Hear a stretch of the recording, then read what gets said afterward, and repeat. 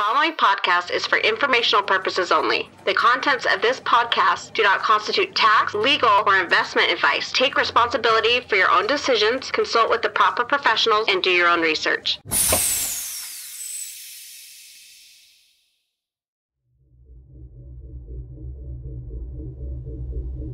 I envision that in the future, everything will be queried and indexed via the graph, you know, no matter the blockchain, no matter the layer two. I think the graph will potentially become a household name, just like the web is a household name, you know, lowercasing the the and, and lowercasing the G in graph. And then it just becomes kind of the graph, which is a public good for open public data.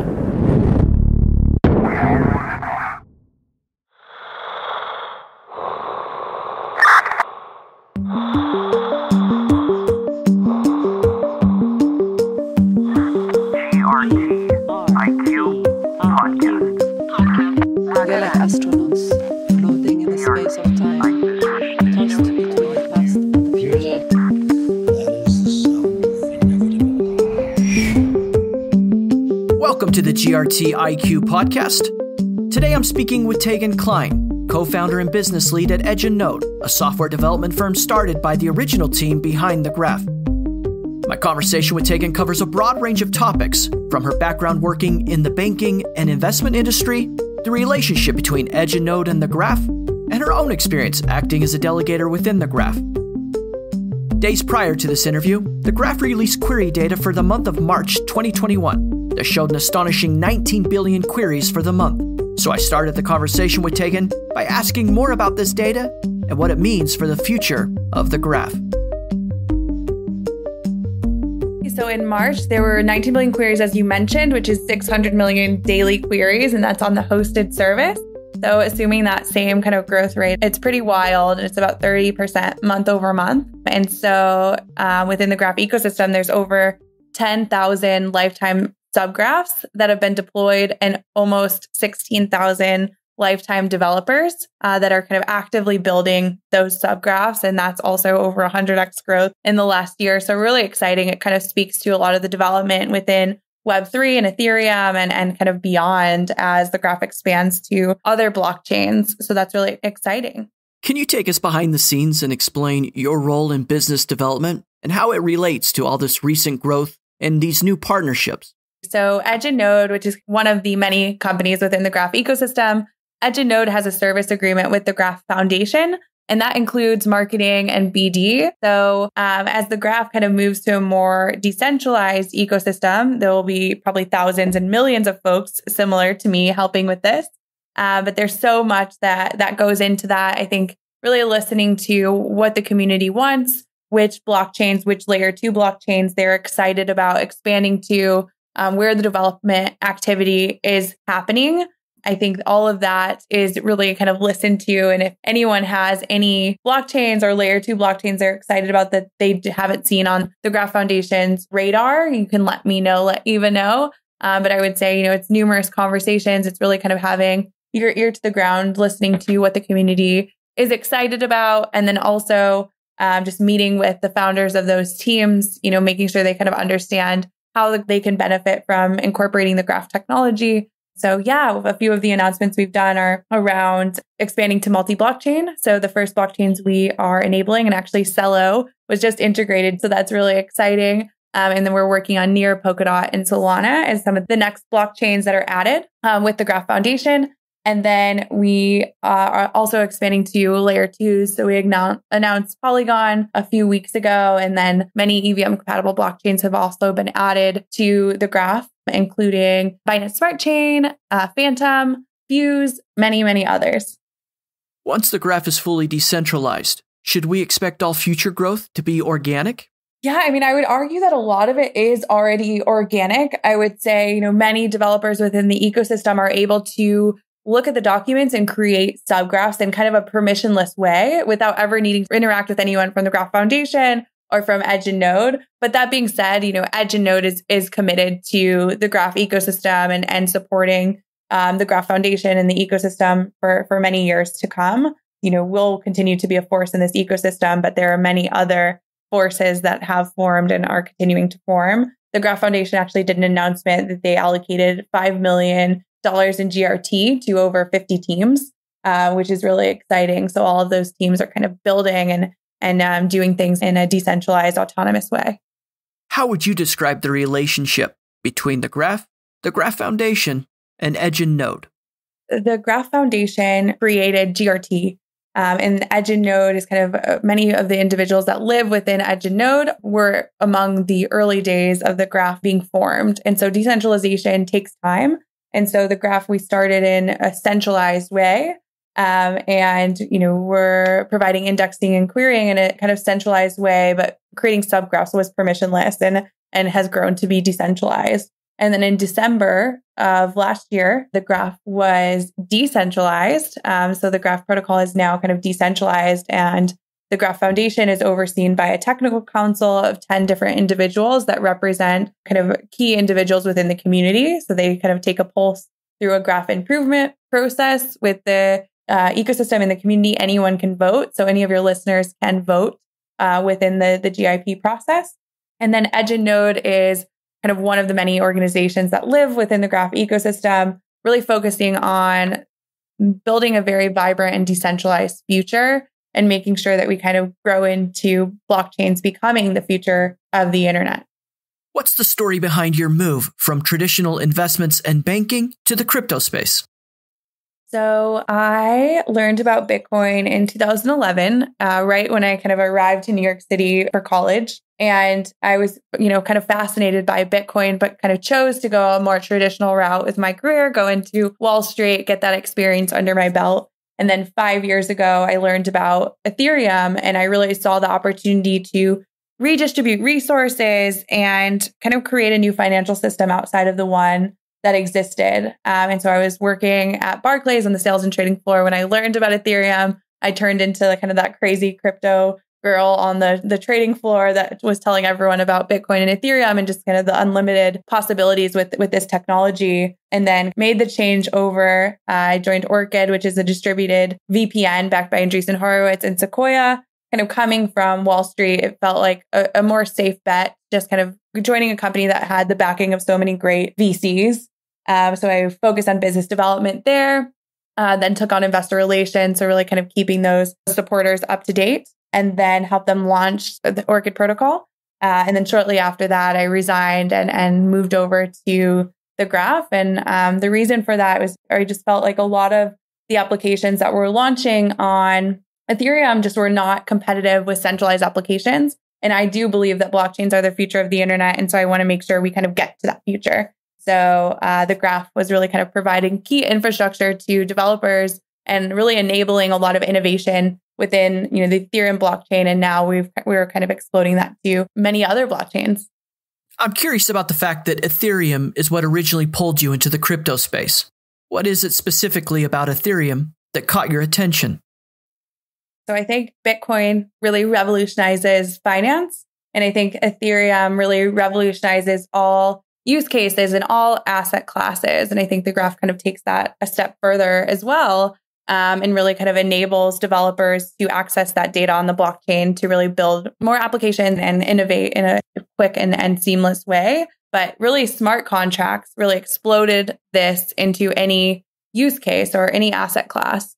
And within Ethereum, it's where a lot of the development is happening, a lot of innovation is happening, especially at that time. Um, and it's really kind of a, about, for me at that time, it was very much about kind of empowering the individual. And Ethereum just has such a vibrant community and, you know, I just saw so many kind of exciting use cases. And so I really found my passion once I learned about Ethereum. And for me, what's interesting is just kind of this peer to peer concept that you can have this contract with uh, using smart contracts with no middleman. And you know, you just need kind of the code. And coming from banking, where I saw a lot of inefficiencies and banks are, are paid so much money for kind of being middlemen in this ecosystem. I really kind of saw the opportunity there. And so it was exciting for me to see that you could do this kind of on chain without a middleman. So no banks, no lawyers. Um, and then kind of seeing that opportunity within many different spaces. So finance, governance, real estate, work, you know, the internet in and of itself, social media, art, gaming, you know, many, many use cases that we're kind of seeing come to fruition today. Um, and what's exciting is that everyone involved can kind of be compensated commensurate to the value that they're putting into something. Whereas, you know, in traditional spaces like the traditional internet or, or centralized finance, I don't necessarily think that's always true. I think there's a lot of really hardworking people in those ecosystems that aren't really being compensated. And instead, a lot of that money does kind of trickle up to the centralized organization on top. Let's talk more about that. How do you think people will benefit in a world where decentralized finance exists? So with DeFi, it's really, really exciting because, you know, you're there's so much innovation that is happening within the DeFi space. But I think one of the most exciting things and, and really why DeFi took off was mostly around the transparency it brought.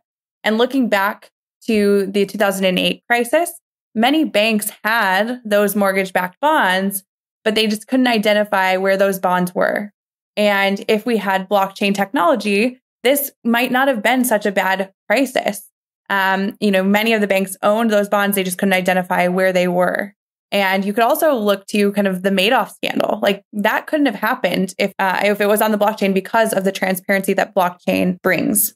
And you know, there's also innovation with this transparency, and then also the open APIs, which on the graph are called subgraphs, that brings so much more innovation because they're Lego building blocks. You can iterate and develop so much more, so much faster because this technology is open source, it's decentralized, uh, and it's transparent. Um, and you can kind of look to Uniswap. Uniswap was super innovative, being one of the first dexes that existed. And um, and then we saw a lot of other blockchains kind of copy that code and put it on their blockchain. And then, you know, we've seen Uniswap v3. And in that, there's actually a licensing agreement for two years, which I don't know if we should be making a precedent for licensing agreements in, in open source technology. It's been kind of difficult for me to to to gravel with. But um, I, I do understand why they did it. You know, they as they innovate, you know, they don't want to see people kind of take their code and, and replicate it on another chain. So it's kind of a philosophical dilemma for me at the moment. Um, and I invite your listeners to kind of think about that. And I would love to hear their opinions on kind of licensing agreements done in a decentralized way, such as what Uniswap has proposed, which in and of itself is very innovative. But I would also say another thing around DeFi that is really great is just the amount of inclusion. So anyone in the world can participate and use these products. So for example, you know, Uniswap, anyone can get on there, anyone with a crypto wallet in the world can get on and and, and trade assets with the the Uniswap decentralized exchange. And, you know, with Aave, you know, interest, you have this interest bearing account or, you know, a loan from Compound. Whereas traditionally, these types of products are kind of restricted to the select few.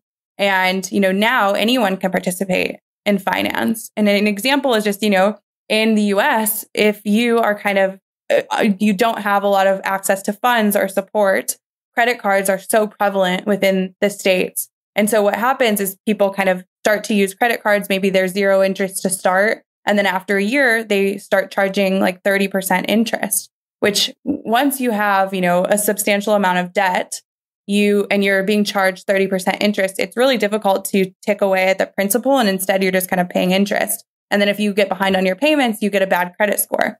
And if you have a bad credit score, you're left out of so much within the space. You can't get a loan, you can't get a mortgage. It might be difficult, you know, to take out a lease on a car. And so it's really, really difficult to recover from that. You know, and, and I would say you almost need to be in kind of a privileged place with support to, you know, individuals that can help you or, you know, financial support. And so what's cool in the crypto space is, you know, no matter your credit score, you can kind of participate. And so that's that's very important to me that it, it is inclusive. Um, and then also obviously lower fees because there's few fewer middlemen and, and more transparency.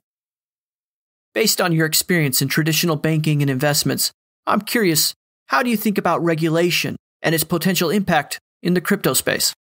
It's interesting to talk about regulations because there's so many libertarians, especially within, I would say, the Bitcoin space that are like vehemently opposed to regulations. But I would say, you know, like, let's think about why do regulations exist? So at the end of the day, I would argue that the reason we have regulations is to make sure parties abide by a set of rules. In blockchain and DeFi, those rules are kind of encoded in the smart contract. So I would say there's less of a role for regulators from kind of this standpoint. And the smart contract and kind of the blockchain itself is regulation. We can encode the regulations into that smart contract. And so, for example, in banking, in depositories, there are a lot of regulations to ensure that, you know, depositories are not fractionally reserved or that assets are not rehypothecated. With the blockchain and smart contract, it's easy to audit exactly what's happening and ensure that the depository is not fractionally reserved. So you can take like $10,000 in deposits uh, and deposit, you know, $20,000. So it's kind of like this double spending that can happen in banking. And so a great example is how the blockchain itself ensures double spending isn't happening without the need of an entity or a regulator kind of imposing or enforcing specific rules.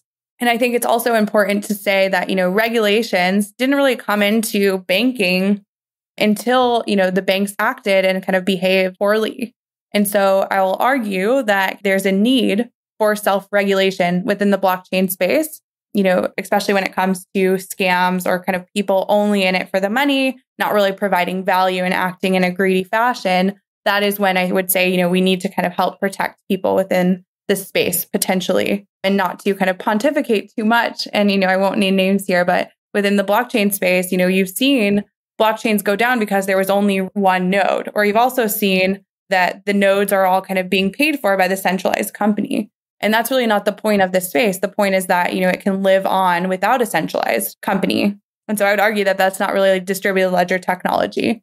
And so I will caveat on that first point, you know, and there is a role for regulators when kind of exposing these these scams. Um, and so that's why I think it's important to kind of self-regulate as much as possible. You know, don't be scammy, don't be greedy, and also don't financially support projects that are.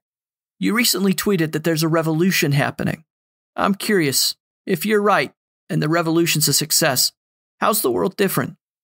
Yeah. So, you know, I think blockchain in and of itself is kind of a, a revolution that's happening, decentralized peer to peer technology, empowering the individuals, kind of removing middlemen, um, getting to a more efficient space with more innovation, um, less monopolies. There's so much to kind of say there. But with this specific tweet, I believe I was kind of speaking about subgraphs, which are open APIs in the graph ecosystem.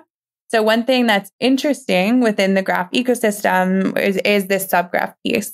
So APIs are kind of generally closed. For example, like LinkedIn has a closed API, Facebook has a closed API, Twitter has a closed API. And so even though that's our data or many users' data, the centralized organization kind of owns those APIs and, and thus the data. And so we've seen them kind of do crazy stuff with this data that I've alluded to earlier, which is kind of a problem and not what the internet was created for. But secondly, these closed APIs really stifle innovation because I can't take that LinkedIn data and port it to Crunchbase, or I can't port it to my own application. So within the graph ecosystem, those APIs are open. So anyone building can kind of take that data from those subgraphs and add it to their own application. It's kind of like Lego building blocks, which is one really exciting piece. And the developers own and maintain those subgraphs. So they are theirs. You know, that's their application. It's not, you know, owned by anyone else. And so double clicking on this is you know, decentralized applications, which are dApps, these dApps, some of them have closed APIs. So they're kind of like centralized companies that are disguised as being decentralized. Um, and so they're kind of trying to reap the benefits of being decentralized without actually decentralizing. And so, you know, especially with the DeFi boom, there's a lot of these so called dApps that have closed APIs. Um, and so I think it's important that we understand which applications have open APIs are building in a decentralized way uh, with subgraphs and kind of beware of that behavior. But I think, you know, this, the world will, you know, I think it'll be a, a better place if we have kind of more decentralized open source permissionless technology, less kind of rent seekers, more people that are getting, you know, receiving contributions for the value they're bringing to ecosystems to protocols, I think people will have, you know, more purpose, more meaning and and then being rewarded for that. What then is your long-term vision for the graph? So I think the graph is really kind of tackling the data market, the ad market, SaaS, you know, as a business model, um, many different spaces within the ecosystem. And as I mentioned, I believe blockchains are the future of the internet. And I think the graph is how we'll get to that future. And we're seeing kind of an exodus from Web 2 into Web 3. You know, the internet, the centralized internet, which is what I call Web 2, it wasn't created to monetize ads or sell people data, but that is very much what it's incentivized to do. And so that's what it's become. And so you have really brilliant minds within you know all of these centralized tech companies that are really focused on selling ads or monetizing data and now that we have decentralized infrastructure and kind of tokens as a business model you don't really need to partake in those weird behaviors and and you know the the payments can flow peer to peer within the ecosystem. And so now this infrastructure is being created is you know coming to fruition. All of those brilliant minds are kind of coming and building within or many of those brilliant minds are coming and building within the space. You know at Node we have many examples of this. Uh, we just hired someone from google who was you know managing a 100 person engineering team. Another person from aws just joined us to focus on devrel you know the, the exodus has begun but i think it'll kind of continue to ramp up more and more as we build more stable infrastructure in in web3 um, and so yeah i envision that in the future everything will be queried and indexed via the graph you know no matter the blockchain no matter the layer two. Yeah and then i think the graph will potentially become a household name just like the web is a household name you know lowercasing the the and and lowercasing the g in graph and then it just becomes kind of the graph which is a public good for open public data. So, how do you find the balance between being mission and values driven when there's so much ongoing chatter and speculation about the price of GRT in the market? Yeah, I mean, being mission and, and values focused first and foremost makes it really easy. The graph is technology, a, a protocol, and we're here to decentralize the internet and, and empower individuals. And that's really the goal. And so it's easy just kind of staying mission and values focused. In addition to the graph being mission and values driven, you've mentioned it also checks three important boxes it's permissionless, decentralized, and open source. Walk us through that. What do you mean? Decentralization. So, this is there's no central point of failure uh, so that dApps can kind of build on a solid foundation and, you know, no matter what happens to kind of like a centralized company, you know that that foundation will be there. So, an example of this is like Google or AWS, you know, if that goes down, that's it. And we've actually seen outages with with Google recently and I think anytime you have centralized like one single point of failure, you're going to see downtime, you're going to see outages. So decentralization is kind of also the ability to validate that the state of the network, you can do that yourself at, at a low cost. And so the graph is very much committed to decentralization. The founding team has been committed to that, you know, really early on. And I think the Graph Foundation, EdgeNode, and Node, and many of the indexers are also very aligned when it comes to decentralization. And so, you know, developers know that no matter what they're building on, it will always be there. And as subgraphs migrate over to the decentralized network, you know, they will likely have more uptime because there'll be a dozen indexers indexing their subgraph as opposed to, you know, a handful within the Graph Foundation. And so that's that piece. And then permissionless is, you know, anyone can join without permission, no matter their race, their gender, their wealth, their religion. You know, it doesn't matter. You, you know, you don't have to ask for permission. So the graph does this with building subgraphs, also as an indexer, a curator, um, and a delegator. You know, the individuals can become any of those roles within the, the graph protocol and the graph ecosystem without ever needing to kind of interact with a team. The last piece is open source. So, what does open source mean? It means that the code is open and available for anyone to use or change. So, you know, for example, if you don't like something within the ecosystem, you can take that code and you can add, you know, technology to it. You can fork that code. So it's kind of open source to anyone building or, or using that technology. First at Orchid, then at the Graph, and now at Edge and Node. it's your responsibility to help communicate these complicated and technical concepts. How have you approached that challenge?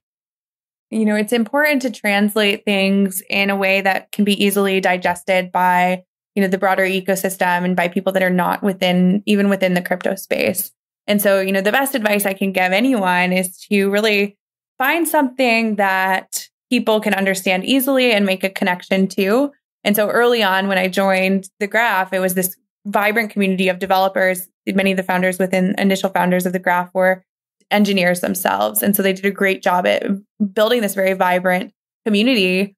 Um, but you know, we we hadn't done a great job at kind of translating what the graph was doing in an easily digestible way to the ecosystem. So I kind of sat Yaniv down and you know asked him for the one liner that would be easily digested by the ecosystem. And so what we came up with was kind of what Google does for the web, the graph does for the blockchain.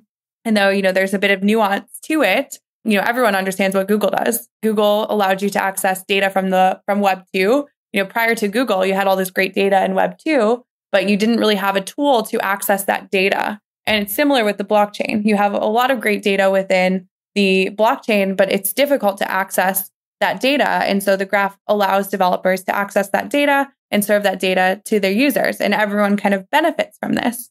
That being said, you know, what the graph is doing is revolutionary and it's, you know, never been done before. So it's difficult to kind of compare the graph to something that had been done before. Uh, but it's, I think, important to start with something that's familiar to people so they can kind of build upon that. And then, you know, the other difficulty is just making sure that, you know, your tech team kind of approves of the simplifications that you kind of make to translate to the masses. How important do you think the role of delegators are to the future of the graph? Yeah, I mean, very important. I think each role within the graph network has its purpose and it's extremely important. And though being a delegator is kind of the least technical role, it's extremely important to help secure the graph network. And so, you know, I personally am, am delegating within the graph network to help secure the ecosystem. And then you know, one interesting piece is that delegators can't be slashed within the graph network. So their funds are safe or SAFU if we'll, we'll um, repeat what, what CZ had put on Twitter. That kind of became a, a meme within the, the blockchain ecosystem. So, how did you, as a delegator, approach that important decision of selecting an indexer to stake your GRT with?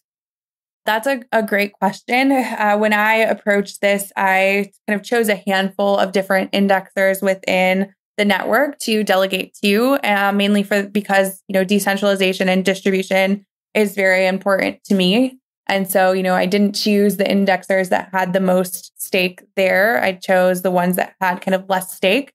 Um, but also kind of just understanding each indexer has their own economic model. So it's kind of important to understand that, understand their the portion of the fees they're allocating to delegators um, and why. And so, also Brandon Ramirez, uh, one of the co-founders and research leads at Edge and Node, he did a great video at ETH Denver, and I'm happy to share that so you can put it in the show notes around kind of choosing your indexer and, and deciding kind of as a delegator how to allocate your GRT. So, and then you can also check out the Get to Know Your Indexer series that uh, Zuni and Ghost, which are two community moderators within the Graph ecosystem, have put together. Uh, and they put that out, I believe, every week. As a delegator, I'd be curious to get your opinion on all the recent debates surrounding GIP2.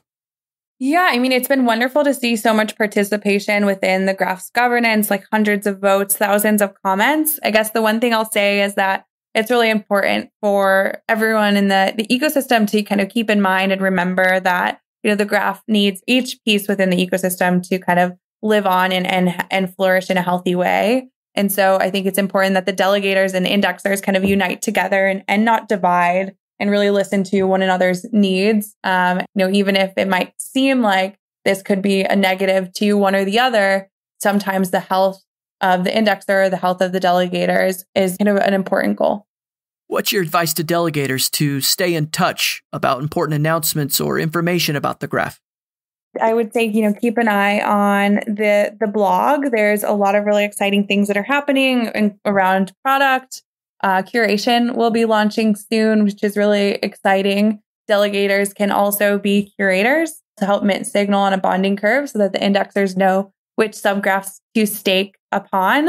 And then adding more kind of partnership announcements. The graph has the potential to become larger than kind of any layer one because the graph integrates every piece of the stack, be it the applications, dApps, as we call them, layer two blockchains or, or layer one blockchains, and then also different storage networks. So, really excited to kind of unite Web3.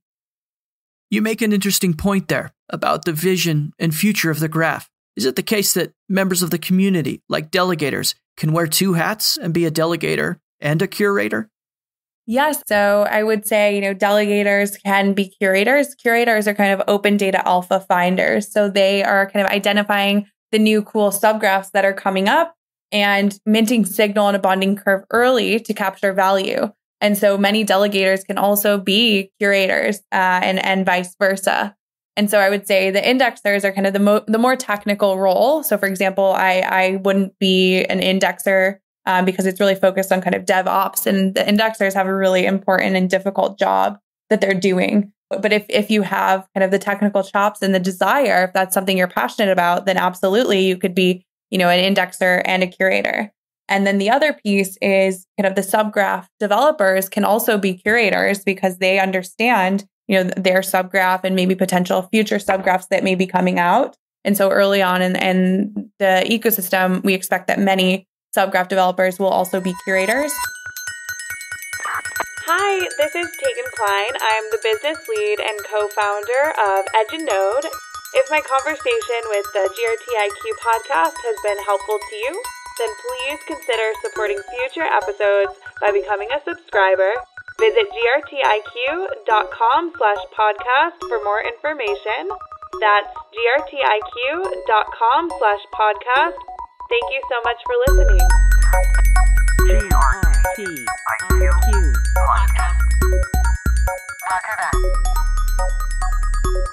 Do you think crypto has the ability to address long-standing issues related to underserved or underrepresented groups, like women and minorities? You know, I think as I mentioned, we're kind of creating this new financial system and, and, and a new internet, and we need all voices from all around the table. So diversity is extremely important, you know, both gender, race, you know, class, all of it. We need voices from each of those areas to come in and and make an impact within this space. Diversity, if you look at a portfolio, diversity is so important. And I uh, would argue that it's equally as important when it comes to voices at the table. And I would say, you know, within the crypto space, we can do a lot better job at welcoming minorities, welcoming women into the conversation. You know, as founders, I really urge you to make sure that there are diverse individuals on your cap tables. You know, make sure that you're reaching out to the women in your ecosystem, to, you know, minorities within the ecosystem to offer them the opportunity. Many of the cap tables I've seen are mostly, you know, all white male. And I think that, you know, we can start there and make a change there. Um, also, you know, within this ecosystem within your companies, make sure you not only have women and minorities within your company, but in leadership roles in the company. Um, don't just check the box and say, you know, this low level analyst or, or something of the like is, you know, now we're diverse. You know, th- that's not it. You need to make sure that's kind of trickling up to the leadership level. And so, yeah, I, I think that this is really important, you know, for everyone within the ecosystem to make strides towards, you know, even if you are kind of a white male, you also have a responsibility to um, bringing diversity to your team and, and ecosystem. What's your message to these groups and others who might be afraid to enter the crypto space because it might be too complicated or technical? I relate to that that fear, you know, being someone who has, you know, a strong skill set on the business side. We haven't done a great job in crypto like making non-technical folks feel welcome. And that is one thing I strive to do with the graph is, you know, make it digestible and make those people feel because I think that, you know, we are creating a new financial system and a new internet. And so the crypto space needs voices from all across the table, you know, eh, people who aren't technical, people who are great at marketing, people who are great at PR, people who are great at partnerships, sales, um, you name it. And so you know, we are building kind of into the future and we need people to help translate that future to the masses so that we can kind of get to that future. If, you know, we just let the people that are technical run with it, you know, they'll build really great things, but maybe, you know, the broader audience might not understand how they can benefit from what they're building. And so I would say, you know, don't be turned off or don't be afraid by the technical nature. Get in, kind of understand the technical pieces enough so that you can translate them to the masses, but you don't necessarily need to like be able to sit down and code yourself. Please don't, you know, don't be afraid and, and get involved. In other interviews, you've mentioned your hometown in Ohio, and you've said that peers of yours weren't as fortunate when it came to resources and support. I'm curious, how do you think crypto and blockchain can help communities like your hometown in Ohio and across the world? Yeah, I think that getting involved in this space can potentially help them find kind of meaning and purpose in their lives.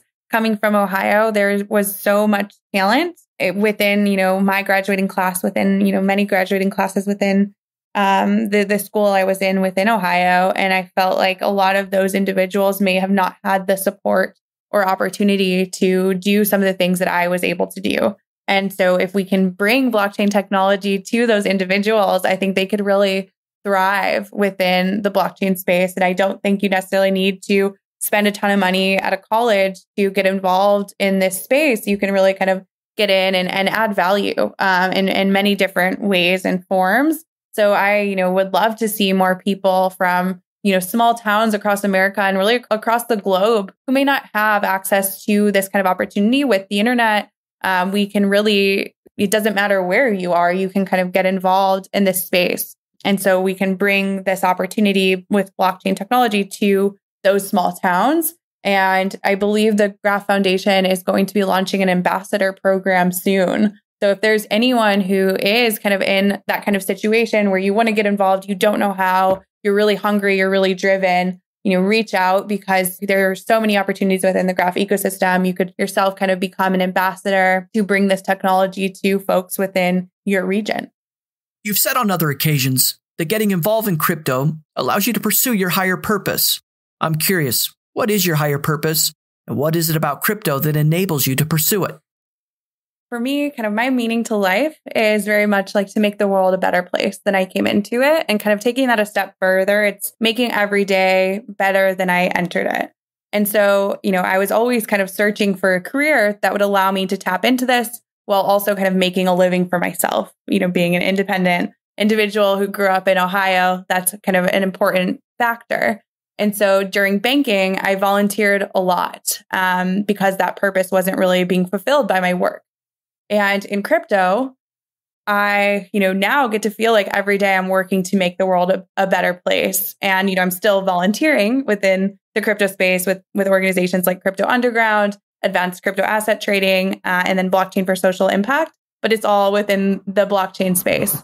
And so, you know, I feel like every day, you know, I'm, I'm working to make the world better uh, and that's really what I'm striving to do. And I think that, you know, Ethereum really embodies the values that I have and the graph as well. And so kind of getting to work within these organizations, it really kind of expand and expanding that to other blockchains and kind of bringing those values with us as we move into other blockchains, other ecosystems within the Web3 space. And so, yeah, I mean, the graph is really kind of disrupting the ad market, the data market, empowering individuals, indexers, curators, delegators, such as yourself and, and many of your listeners. And, you know, the graph has definitely changed my life and, and so many people's lives, but there's so much more to go. And I think like just ahead of the graph network launch, there were many different individuals thousands of people from over 100 countries that were involved within the graph ecosystem. And one story is just kind of when we launched the curator kickoff call, you know, there were individuals on that call and video that were in like viscerally difficult situations. And one I recall kind of vividly was one who was in a really tiny room without a door. And, you know, th- those individuals were really rewarded for the, contributing to the graph protocol so early. And I think within the graph ecosystem, what we've kind of strived to do is make sure that everyone for their contributions, you know, the token economics really enable them to be rewarded for, for that work. Despite finding so much meaning in your career working in crypto, there came a point after your success at Orchid that you contemplated leaving the industry and pursuing something else. But you had a conversation with Yaniv Tal at The Graph that not only brought you back into crypto, but drew you to that project. What can you tell us about that conversation? Yaniv is a visionary. He kind of lives into the future and he's helping kind of build towards this future. And so, you know, three years ago, about three years ago, Yaniv taught me about the graph, uh, this open data layer that lived on top of Ethereum. Um, and he told me about kind of a difficult decision he had to make when he was fundraising. And that was to kind of take, you know, money to be centralized or to kind of decentralize from the beginning and he chose the latter. And I have, you know, so much respect for him. You know, he's made so many hard decisions that could have changed the course of history for for the graph and thus the, you know the web 3 space and Yaniv really stays true to his values and and goes you know towards that and he I, have never seen him sway um, and so i'm just really appreciative to work with someone who has you know such a strong value set and you know i think him and i are able to kind of help guide you know, we both kind of do this, but in different ways. So it, it, it drives us to a very, you know, values aligned future. So, what's the lesson from that moment in your life? And how does that inform what you're doing today? you know, within the blockchain space, we have this really, you know, I got into the blockchain space because of the mission, because of the values. And what I saw was a lot of people kind of taking those values and hiding behind them to benefit for themselves, to kind of enrich themselves. And, you know, that's not what I got into this space for. And so it was really difficult to see, you know, people that I respected doing that and, and acting in that kind of behavior. And I think, you know, humans have the you know, potential to be greedy. You know, I think greed can live inside everyone. It's kind of our responsibility to curb and control that greed. And so, you know, you see people that you really respect, you really admire, but they kind of get lost in the greed of it. And, you know, I've seen Yaniv choose against that time and time again, as well as, you know, many other people within the the Edge and Node team. And I, I'm just really grateful to be surrounded by people that are mission and values focused. You work with a lot of different projects. What can you share with us about different products you're interested in or that you're working with? For me, you know, I always look for, you know, decentralized open source permissionless technologies. There's some that I'm really excited about, you know, Radicle, which is kind of decentralizing the code, uh, Connext, which is cross chain payments uh, within the state channel space, EPNS, decentralized notifications. Oh, of course, Uniswap v3. I think, you know, the Uniswap team is super visionary and kind of always building into the future. And so, really excited about what they're doing there, kind of democratizing finance, and then excited about all the layer two blockchains. So, um, Arbitrum, Polygon, Optimism. Yeah, I think, you know, Connext is kind of the glue helping with composability between blockchains. So, really excited about that as well. Last question before we let you go. If you could travel back in time and talk to your younger self right before you entered into the crypto space, what advice would you give yourself knowing what you know now? It's difficult because I wouldn't want to change the the course of history because I'm so grateful, you know, to where I've kind of ended up in, in my career and, and life. Um, but I would say, you know, just you know, stay true to your your values, look for your passion, and um, don't sway from from your value set. You know, really try to absorb all the lessons and and everything around you um, but if you are feeling kind of eh, like you're in a oppressed situation or you're, you know, you're not fulfilled, don't feel stuck by the quote unquote safety that you have. Really, you know, step outside of your comfort zone because it's oftentimes when you do that, that, you know, the best things that, you know, happen to you. Um, and I, I would also say that, you know, the more I've kind of stayed true to my values, the better life has kind of become. And so I would kind of give, you know, the listeners that advice too is yeah, stay true to your values, look for your passion, and uh, and I'm sure you'll find it. Tegan, you've been so generous with your time. Thank you so much for these thoughtful answers. If listeners are interested in your work and want to stay in touch, what's the best ways to follow you? Yeah, so you can find me on Twitter at the Kline Venture. My DMs are open there, so feel free to reach out. You can also add me on LinkedIn, Tegan Kline, and following the Graph Protocol on Twitter as well, and Edge and Node. This has been a production of the GRT IQ podcast. You can find additional information, including detailed show notes, by visiting grtiq.com slash podcast. That's grtiq.com slash podcast. Please consider contributing to this project and helping build the community by subscribing and leaving a review. GRT.